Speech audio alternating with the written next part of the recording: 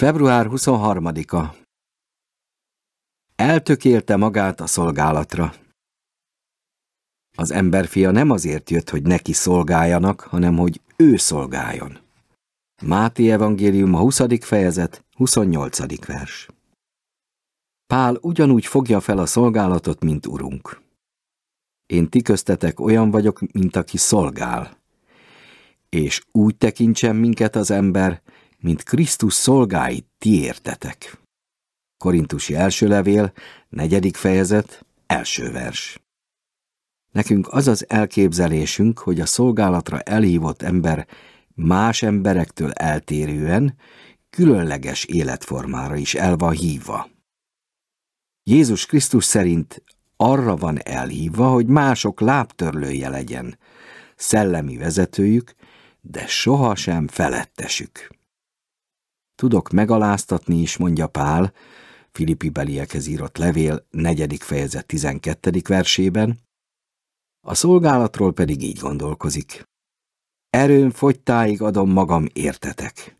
Dicsérhettek vagy szidalmazhattok, nekem teljesen mindegy. Amíg van egyetlen emberi lény, aki nem ismeri Jézus Krisztust, adós vagyok neki a szolgálattal mindaddig, amíg meg nem ismeri. Pál szolgálatának fő hajtórugója nem az emberek, hanem a Jézus Krisztus iránti szeretet. Ha az emberiség javáért szánjuk oda magunkat, csak hamar felőrlődünk, és összetörik a szívünk, mert az emberek sokszor hálátlanabbak a kutyánál. De ha az Isten iránti szeretet indít, akkor a hálátlanság nem akadályozhat meg abban, hogy szolgáljunk embertársainknak.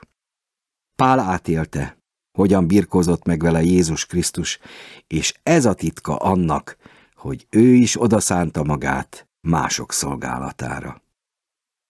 Előbb Isten káramló, üldöző és erőszakoskodó voltam. Első Timóteusi levél, első fejezet, 13. vers. Többé nem törődöm azzal, hogyan bánnak velem az emberek, mert sohasem lehetnek olyan durvák és rosszindulatúak irántam, mint én voltam Jézus Krisztus iránt. Amikor rájövünk, hogy Jézus Krisztus úgy szolgál nekünk, hogy aljasságunk, önzésünk és bűneink megsemmisüljenek, akkor többé semmi sem tántoríthat meg abban az elhatározásunkban, hogy ő érte szolgáljunk mi is másoknak.